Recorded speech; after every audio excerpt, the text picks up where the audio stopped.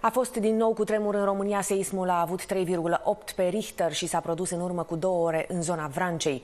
Simona Boțoc-Popovici a vorbit cu seismologii și ne spune mai multe. Simona, te ascultăm. Bună seara! Bună seara! Numai în ultima lună au fost 29 de cutremure, cei drept de intensitate medie și mică, însă asta îi face pe foarte mulți specialiști să se gândească că un mare cutremur este foarte aproape. Cei drept că sunt la fel de mulți specialiști care consideră că aceste mișcări telurice dese și de intensitate medie nu fac altceva decât să elibereze pământul de tensiune. Este foarte important și foarte adevărat că nu trebuie să ne panicăm, însă în egală măsură paza bună trece primejdea rea.